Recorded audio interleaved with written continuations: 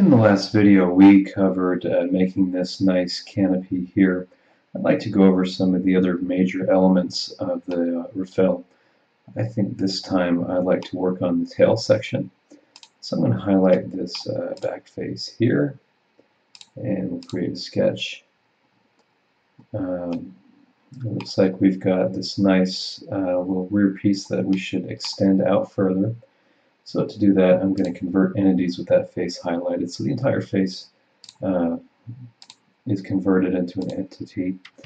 And from here, uh, we should have the horizontal constraint, which we do. And I'm going to get the horizontal constraint relatively close to that line.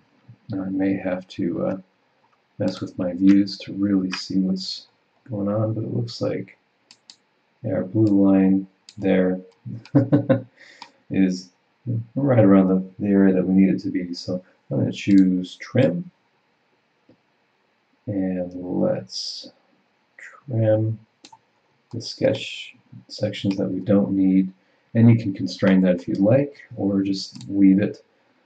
Uh, I'm going to do an extrude boss and it's funny because I so ardently uh, talk about fully constraining but for coming off of an image it's really more about what you see. 1.65 seems about right, so we'll go there. And next thing to do, um, let's get on the right plane and work with our tail. So right plane, create sketch,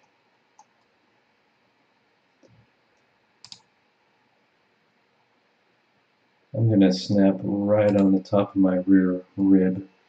And that seems to be right there about the tangent point that you would hit a linear section. Uh, and I want to be tangent to that section of my rib. Uh, let's, let's see if there's, I don't think, let's make sure I have to get normal. Looks like I can't really grab the ribs, so I'm going to select my tangent handle and choose horizontal because the, there's a horizontal spline going along here and that should be good for what we're doing. And then I'm going to come up here and try to cover this entire linear section of the tail with a straight line. That seems about right. I'm going to lock this line in place with a fixed relation. And I think we already have tangent, I'm going to add tangent again just to make sure. Let's add in a two-point spline to go from here to here. And we're going to choose tangent and we go almost perfect right off the bat.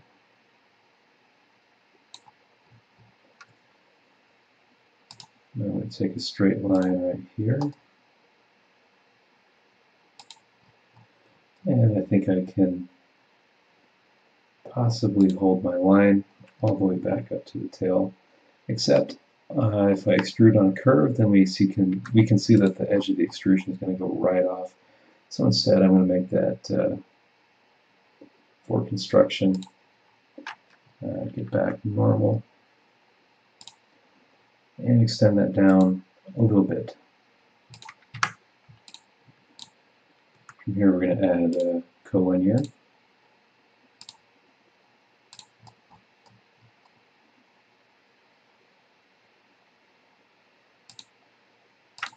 vertical there and for cleanliness I'll make that horizontal. And that should be as far as we need for the tail. Now let's go control 8. Well, control 1, how about? Let's look at it from the front. Um, so we can see the width of the tail here. And I'm going to choose extrude. We'll go mid-plane. I'm going to take that down till the width of the tail seems about full. Uh, 0.25. It's kind of thick. I'll take that down a little bit further to point two. There we have the tail. Next thing I'll do, highlight these two edges and choose fillet. If we go 0.2, then we want 0.1 for fillet radius, and that ensures that the edge of the tail is actually completely rounded. So that's pretty nice. Next thing to do, and I think this, we're probably going to see a little bit of a conflict between the front and uh, the side views. So if I go one, it looks like our height's about right there of our tail section. And I think our side view is a little taller. So control one, let's add this feature here. We're going to say sketch. And uh, why don't we do this from the front plane to save us from making another plane. I'm going to go a little bit taller than the front view. And I thought that was a corner rectangle, so I'll readjust. Notice that fixes quite nicely on the center line. And we can afford to go a little bit taller. That seems about right. Uh, let's add in some sketch fillets around here to simplify. We can make those relatively small. How about 0.05?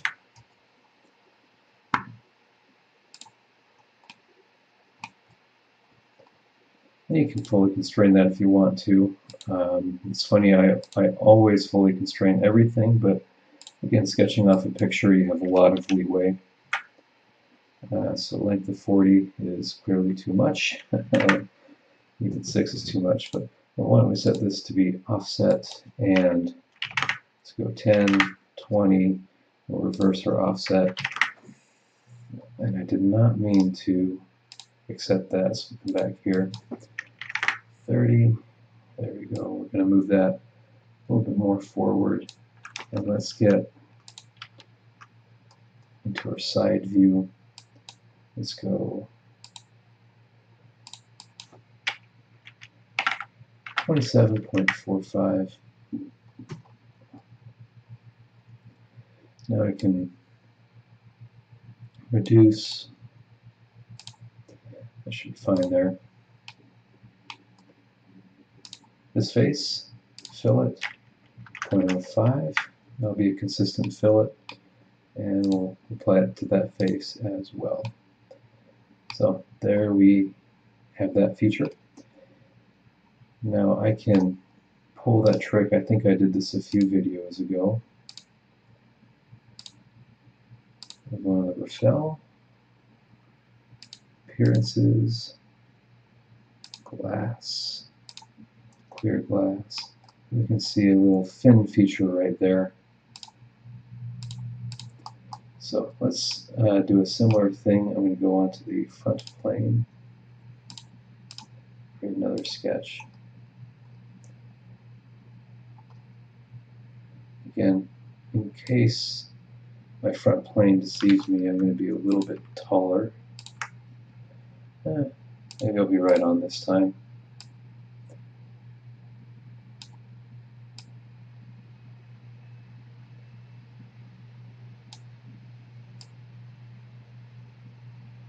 we're going right about there. Features, extrude, I'm going to say offset in the other direction. I'm going to go 30.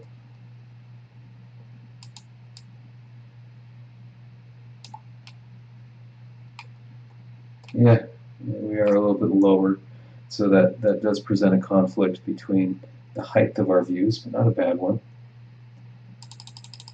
Around here, and blind the other direction.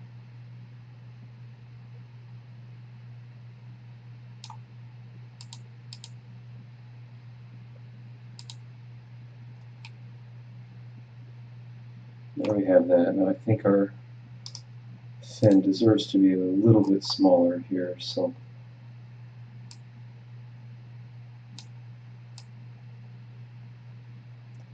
make that more narrow.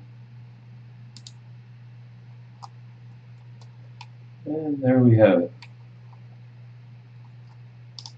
Going to uh, appearances and remove all part appearances.